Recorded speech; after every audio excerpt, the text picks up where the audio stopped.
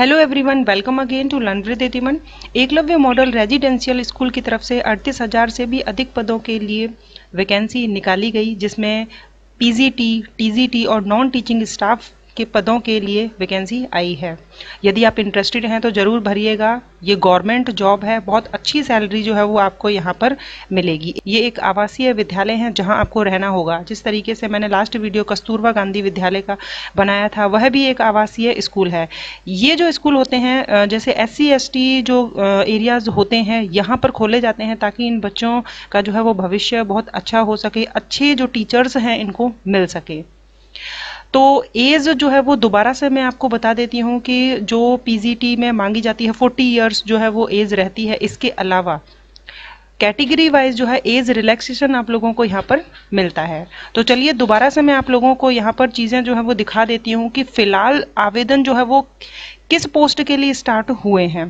Principal की जो है 303 पदों के लिए अभी आई हुई है। पीजीटी की अगर आप भरना चाहें, दो हज़ार दो सौ छियासठ पदों के लिए है। सैलरी इतनी अच्छी यहाँ पर मिलती है कि आप लोग जो है दूसरी और कोई चीज़ जो है वो नहीं सोचेंगे।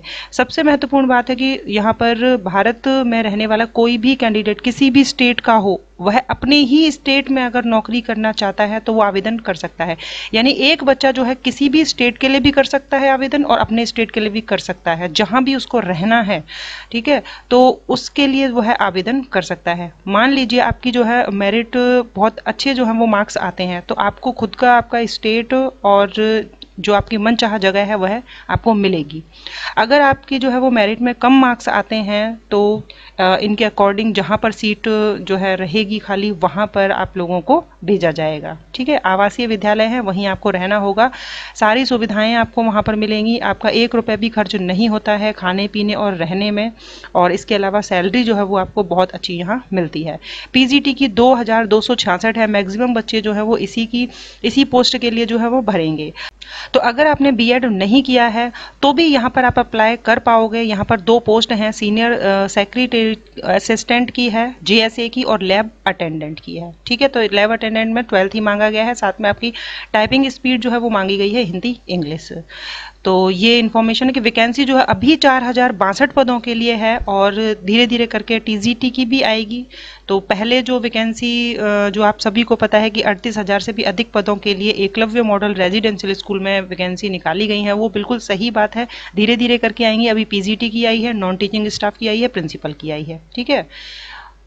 तो यहाँ पर जो है, कौन से सब्जेक्ट के लिए है तो आप देख सकते हो English Hindi math chemistry physics bio history geography commerce economics computer science पहले भी मैंने जो है इसका वीडियो बनाया था तो कई बच्चे जो हैं, जिनको नहीं समझ में आ रहा था कि एज जो है, हमारी 42 ईयर है या 44 ईयर हो गई, क्या हम अप्लाई कर सकते हैं? सब मैक्सिमम सभी बच्चे अप्लाई कर सकते हैं, क्योंकि यहाँ एज रिलैक्सेशन जो है, वो सभी को मिल ही रहा है।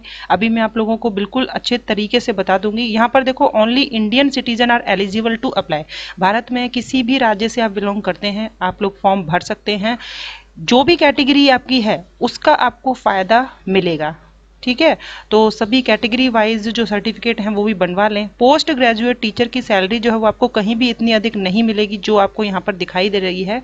सैंतालीस हज़ार छः सौ से लेकर जो है, वो आप देख सकते हो कि जो है, अधिक है एक लाख इक्यावन हज़ार से भी अधिक जो है, वो आपकी सैलरी इसके बीच में रहती है। ठीक है? और साथ में आपको रहना, खाना, पीना, ये सारा चीज़ें जो है वो फ्री रहती हैं।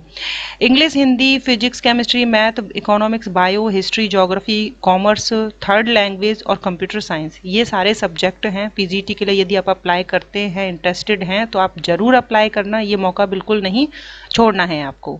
अकाउंटेंट की देख लीजिए, पैंतीस हज़ार से अधिक जो है सैलरी मिलेगी। जीएसए की जो है उन्नीस हज़ार नौ सौ से अधिक लैब अटेंडेंट की। जिसने भी जो है बीएड नहीं किया हुआ है एमए नहीं की हुई है तो वो इस फॉर्म को ज़रूर भरें। अठारह हज़ार से छप्पन हज़ार नौ सौ तक जो है वो सैलरी यहाँ मिलेगी। एग्ज़ाम होगा एग्ज़ाम के थ्रू आप लोगों को यहाँ लिया जाएगा। ओ एम आर बेस्ड आपका एग्ज़ाम होगा पेन पेपर होगा ऑफलाइन मोड होगा, ठीक है? हिंदी इंग्लिश दोनों ही लैंग्वेज में होगा। फिर यहाँ पर देख लें आप प्रिंसिपल के लिए तो बहुत कम ही लोग जो हैं वो अप्लाई कर पाएँगे ऐसा मैं यहाँ पर मान रही हूँ क्योंकि मोस्टली बच्चे जो है पीजीटी के लिए अप्लाई करते हैं। तो देखिए प्रिंसिपल के लिए अगर कोई इंटरेस्टेड हैं क्योंकि कई जो आ, होते हैं जो कि आप देखते हैं कि प्राइवेट स्कूलों में पढ़ा रहे होते हैं एक्सपीरियंस भी उन लोगों को बहुत ज़्यादा हो जाता है। और उन्होंने पोस्ट ग्रेजुएशन भी की होती है बीएड भी किया होता है। ठीक है? और forty four year forty three year के हो जाते हैं। तो वो लोग सोचते हैं कि प्रिंसिपल के लिए हमें अप्लाई करना चाहिए। तो प्रिंसिपल के लिए अप्लाई कर सकते हो। आप 130 मार्क्स का जो है वो आपका एग्ज़ाम यहाँ पर लिया जाएगा और साथ में 20 मार्क्स जो है वो लैंग्वेज के लिए जाएँगे। लैंग्वेज यानी हिंदी और इंग्लिश दोनों। ठीक है? दस दस मार्क्स के जो है हिंदी इंग्लिश आएँगे। लास्ट वीडियो जो मैंने बनाया था, इसी का आप लोग थंबनेल में जाकर जो है वो देखना। एकलव्य मॉडल रेजिडेंशियल स्कूल जो है, आप लोगों के सामने एक वीडियो मैंने रखा था, जिसमें डिटेल में सारा सिलेबस भी डिस्कस किया था। तो पीजीटी के लिए भी 130 मार्क्स का जो है वो आपका एग्ज़ाम होता है। यहाँ पर 20 मार्क्स का जो है वो लैंग्वेज का पूछा जाएगा, हिंदी इंग्लिश और इसमें जो है वो आपको पास होना भी कंपल्सरी कहते हैं।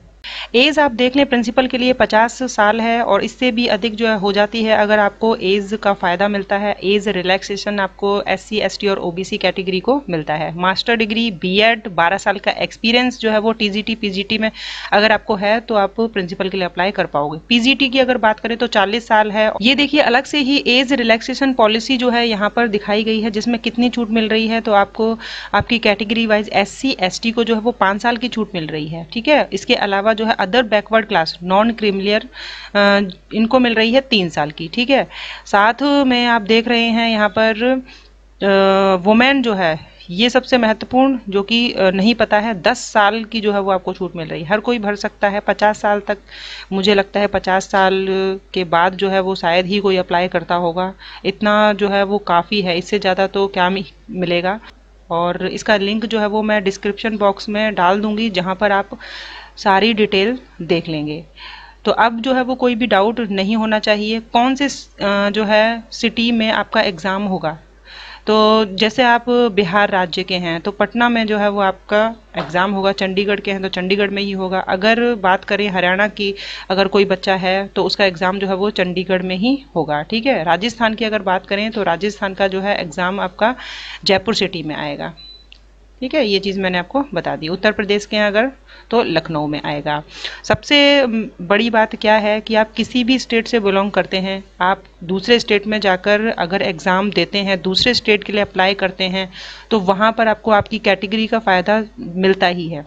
तो मेरी व्यक्तिगत राय यही है कि आप सभी जो कैंडिडेट जो हैं, यहाँ पर अप्लाई करें। बहुत अच्छी जॉब है और ऐसी जो जॉब होती है, उसे बिल्कुल भी नहीं छोड़ना चाहिए। यहाँ पर आप लोग को सैलरी जो है, वो बहुत बहुत अच्छी जो है, मिलती है। गवर्नमेंट जॉब है सेंट्रल जॉब है यहाँ पर और एन जो है, इस एग्ज़ाम को करवाता है।